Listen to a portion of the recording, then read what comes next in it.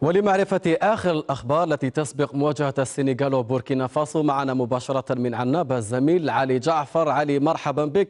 يبدو أن الإثارة ستكون كبيرة بملعب التاسع عشر ماي بعنابة خاصة بالنسبة للمنتخب السنغالي المرشح فوق العادة فيما يبدو أن منتخب بوركينا فاسو سيعمل على تحقيق المفاجأة في هذه اللقاء. علي جعفر.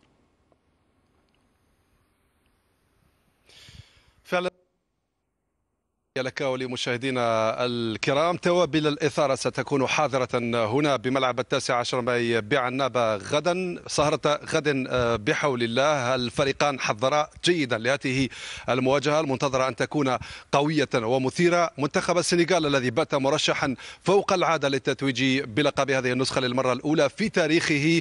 حضر آه، هنا حضر أمس في حصة أولى ويحضر في هذه الأثناء في آه، حصة تدريبية أخيرة بملحق الملعب بعدما سبقه منتخب بوركينا فاسو في حصة تدريبية أخيرة كذلك بنفس الملحق. طبعا للحفاظ على حالة أرضية الميدان بقرار من لجنة التنظيم. السنغال صاحب 12 هدفا يطمح لمواصلة عروضه المميزة والاستثنائية لبلوغ النهائي للمرة الأولى في تاريخه وذلك ما أكده المدرب سيرين سان ديا في ندوته الصحفية. صباح اليوم قال إن فريقه يستهدف الذهاب بعيدا والتتويج باللقب للمرة الأولى آه، ويحذو حذو المنتخبات آه، مختلف الفئات بالنسبة لمنتخب السنغال التي توجت آه، بداية بالمنتخب الأول ثم المنتخب المحلي وصولا إلى منتخب أقل من 20 سنة المشاركة المشارك في المونديال بالأرجنتين. على كل منتخب بوركينا فاسو كذلك بقيادة مدربه اللاعب السابق إبراهيم تراوري